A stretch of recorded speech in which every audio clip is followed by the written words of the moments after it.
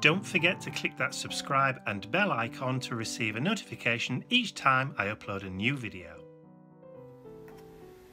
Hi everyone, it's Mike here. So today I thought I would do another page in my Rogues Gallery collage kind of cluster art journal. So the last page that I did in this was the um, page which was a kind of sort of homage to my grandfather but not quite. Um, so I thought I would continue that same kind of military kind of style theme onto the next page. So I've gone through my collection of rogues, if you like, and I've pulled out two um, but these just happen to be navy. So I couldn't decide which one to use to start off with, but on looking at it, if I chose this one, then both of those two rows will be looking over to my right.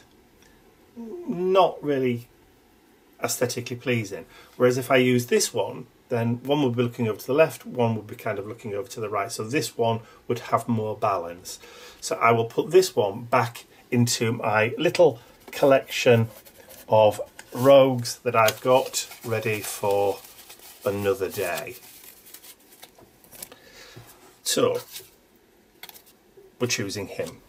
So again, to carry on that kind of military feel, um, I'm going to use a green piece on this side. So I've got this lovely piece that's upside down.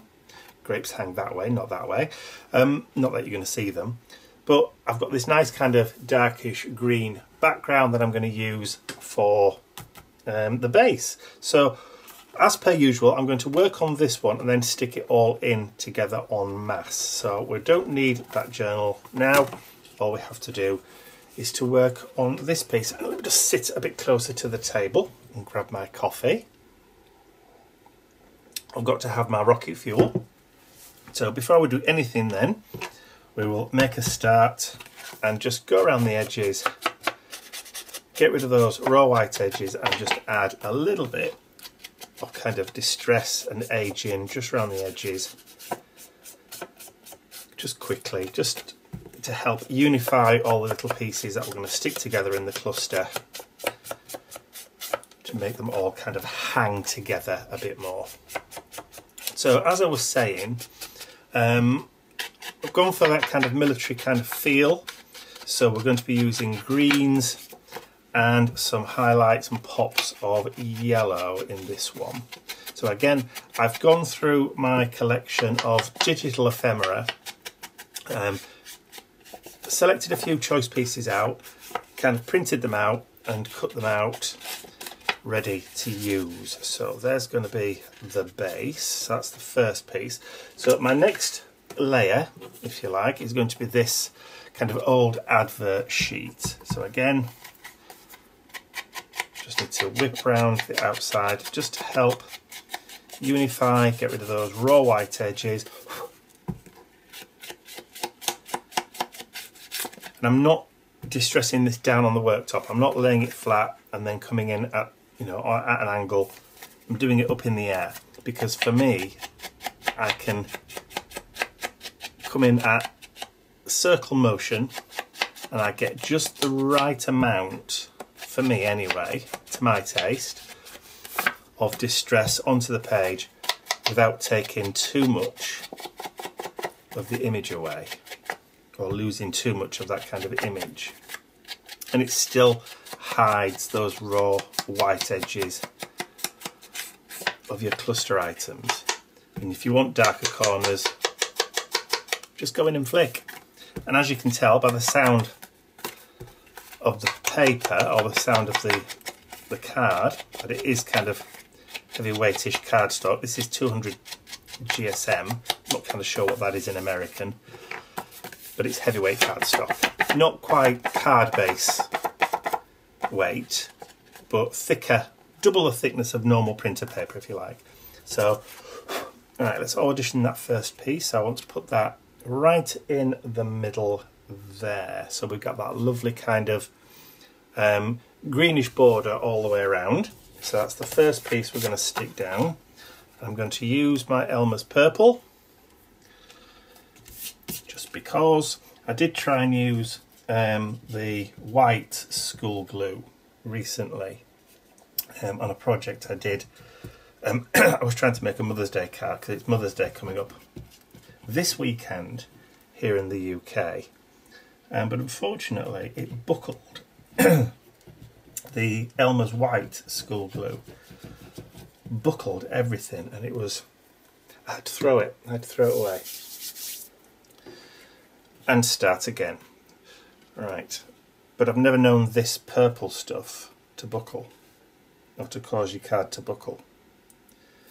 So I'm going to stick with that for this. Okay, so there's the first layer. Okay, so the next couple of pieces, now this is where we start to introduce that yellow. So I've got these kind of yellow ochre mustardy kind of pieces. And again, I'm just going to go around, get rid of those raw white, raw white edges.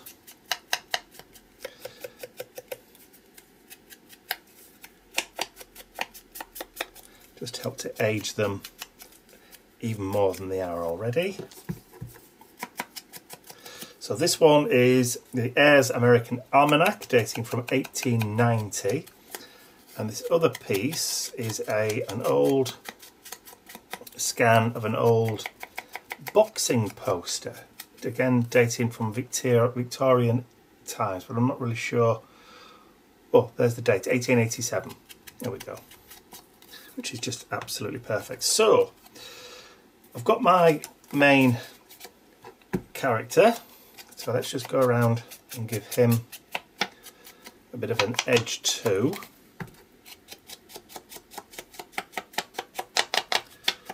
Not that we're going to be sticking him down just yet, it's going to be one of the last things to get put down.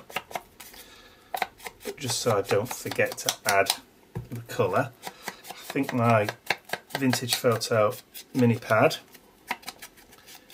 is drying up somewhat. I have got a re-inker somewhere, but I think Mr. Ian's borrowed it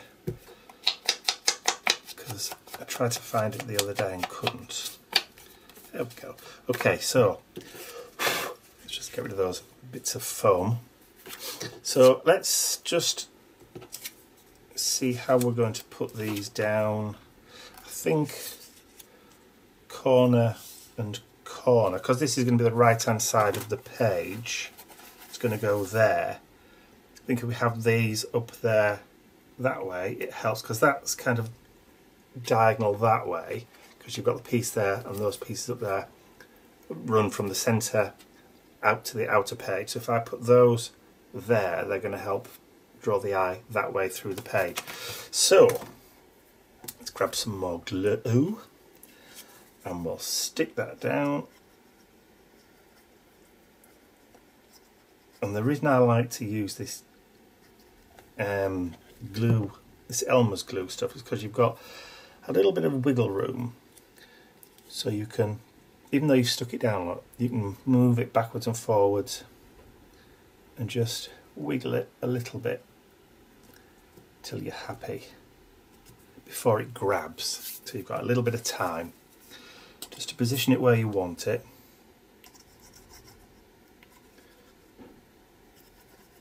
Okay.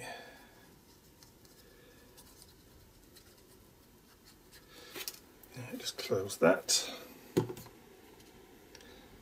And then we'll do the same thing down here.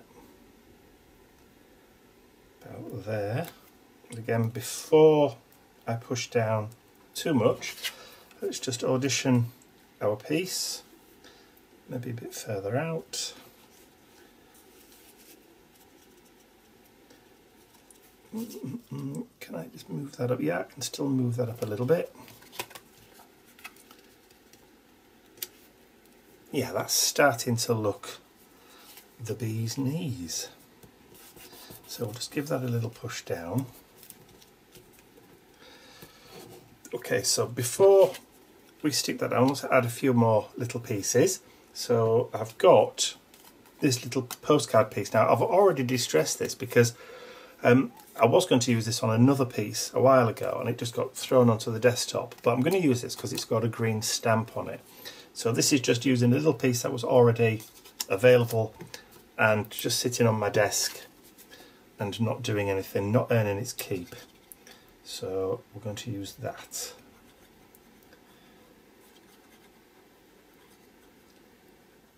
There we go. So we've given it a reason for being. So I'm going to just tuck that just underneath there and then just bring that out a little bit just so it's coming into that green breaking into that green and also breaking into that almanac image just a tad. And then when I put this back down again so we're building up that nice little cluster there. Okay like that.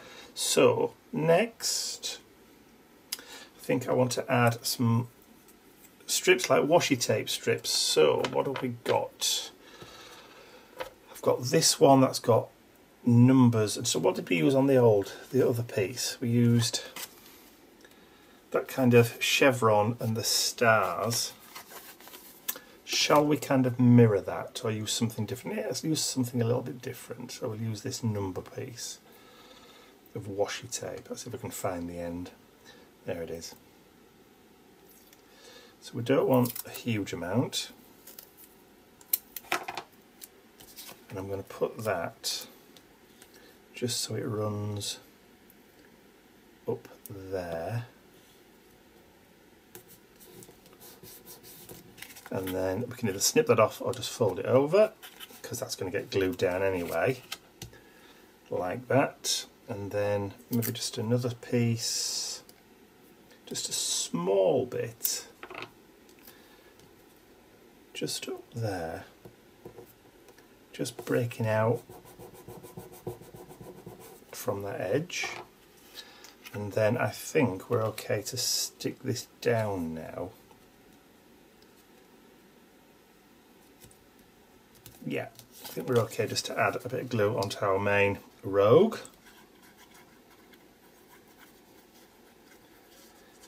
Haven't thought of a name for this chappy yet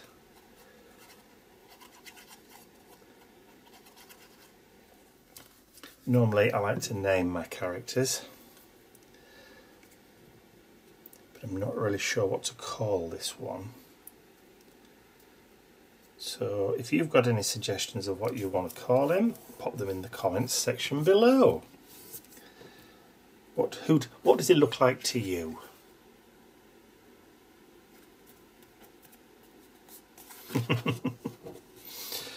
okay. So I can't decide whether it's American Navy or British Navy. I'm quite sure that medal there might give it away. But I'm not a military historian so I couldn't tell you. Okay, so the next bit, I'm going to add a bit more green to that foreground. So again, just a touch, bring the background to the foreground We've got the green from the stamp, so this will just add a little bit of balance.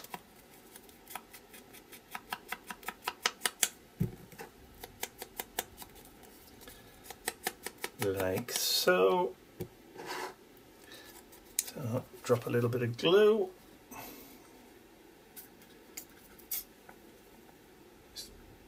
Shuffle the glue down in the bottle. There we go.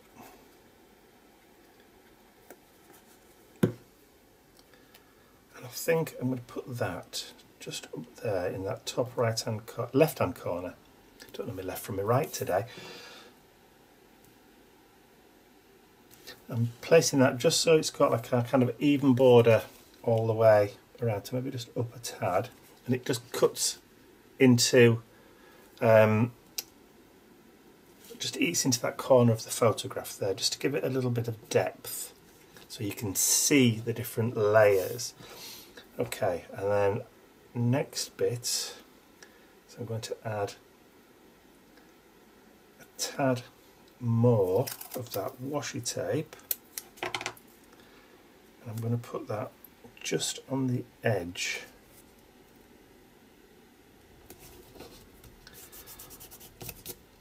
of our rogue, whatever he's going to end up being called. And I think I kind of like that. But as I've done with all the other pages that I've done so far, I've added uh, a little piece of metallic embellishment onto each one just to kind of give it a little bit of texture. And I want to do the same thing for this one. So what I want to do is I want to add this little book plate and I'm going to pop that down there because normally I put dates on each one of the pages.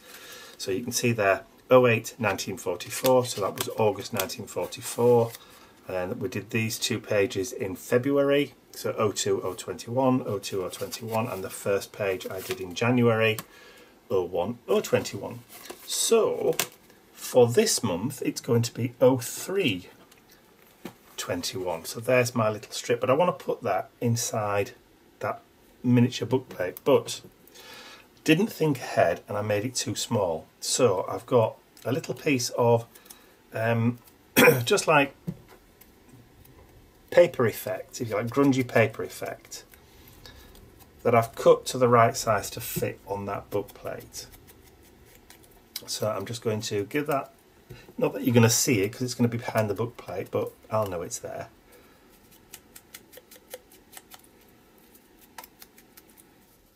Okay, so we'll just go around the edges because you'll probably see it from the top. and then this piece, again, I'll just add a little bit. I've cut it to, right, to the right width, but it's just not tall enough which is why I've had to place it on a carrier. Alright, so let's get some glue and just put a thin bead. Come on. Did I close it? No, I didn't. It's just being a pain. Right. I apologise if I've rambled all, all the way through this one, but it just it's one of those kind of pages that you just do and you do what comes into your head.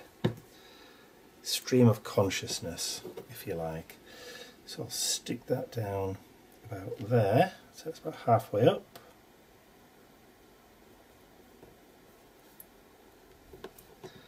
So that should theoretically now, when it's placed inside, let's just move that to one side so you can see it. When it's placed inside there, it's going to fit just nicely. I might just need to trim just a tiny tad off. It's not quite straight, but hey, whatevs. There we go.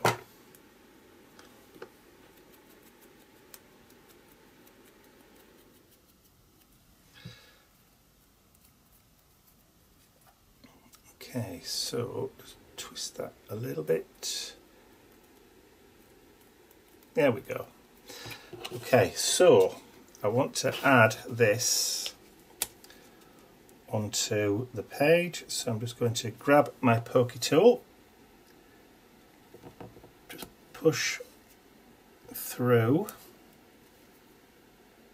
And this is the reason why I like doing these um, not sticking them directly to the page but doing them separate so that you can hide kind of any brads or feet if you like or any embellishments that you want to put. You can hide them behind. And that way they don't go through the page. So I'll just make those holes a little bit bigger. Give that a swizzle around and then we'll take the first one. Push that through. And these little book plates I believe are from Michaels. These were sent to me in Happy Mail ages ago. Um, and they've just been sitting in my stash waiting just for the right page ever since, or the right little project ever since. When I spotted them this morning, I thought, oh, that's just going to be perfect. Okay, so now before I carry on, I'm just going to turn those legs or the arms just that way and I'm going to grab some washi tape and I'm just going to put a piece across the back just to kind of stop myself from stabbing myself with those sharp points while I'm working with it. Okay, so the next thing then is we can slide that little piece into where it needs to go. Et voila. Look at that. I'm happy with that now. Like that. Hasn't taken that long. We've got three pieces of washi tape there which kind of draw the eye around the page. You've got the green and that yellow which is perfect. A nice accompaniment. So if I bring that page back in now, that can get stuck in there. I've just noticed that the backing paper is just slightly smaller than the page on this side, but that's okay. Don't mind that. So that can then get glued now onto the back.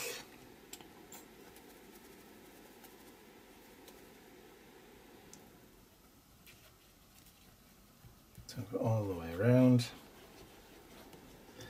over the top of that washi.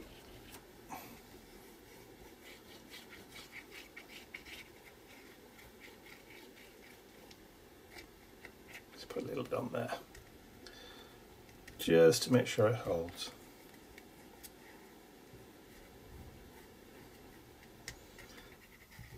There we go.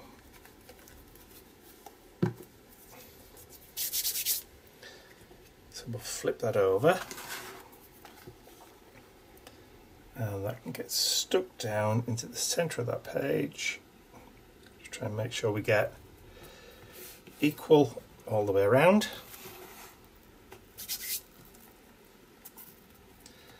I think I'm going to need just to put something heavy on the corners just to hold it down until it grabs.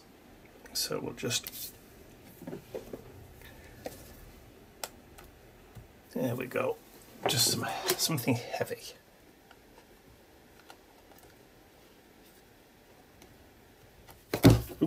Let's turn that over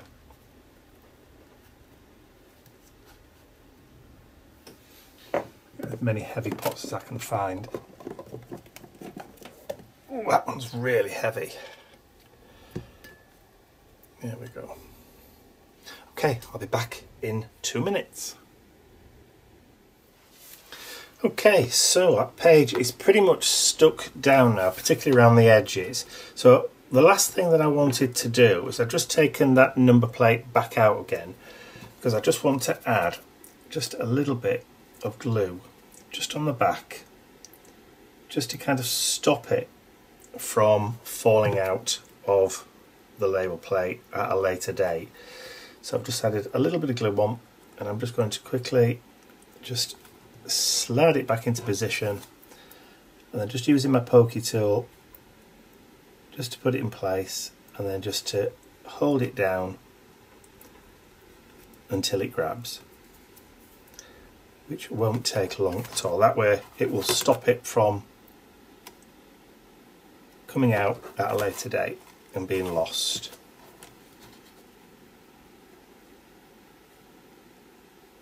I'm just using the pokey tool just to push it down a little bit, just to hold it and position it for best effect. Because we've still got that wiggle room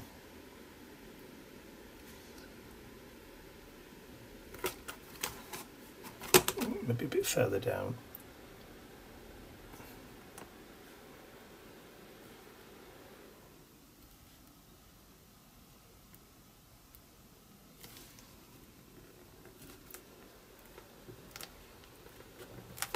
There we go.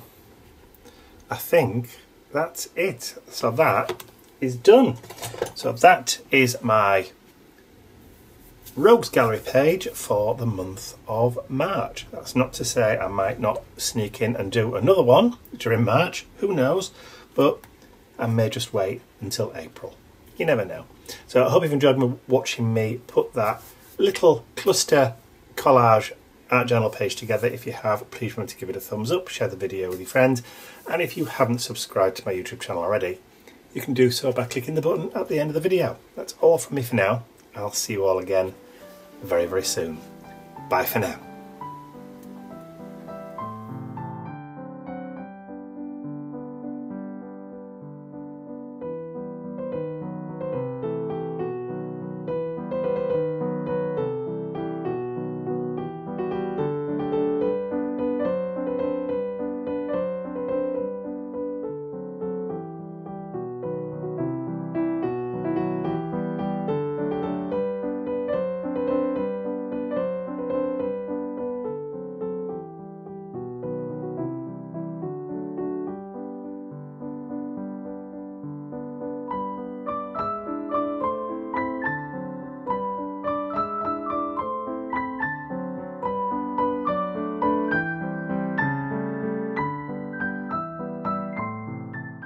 I'd like to say a huge thank you to all of my angels because without you, these videos would not be possible. Thank you.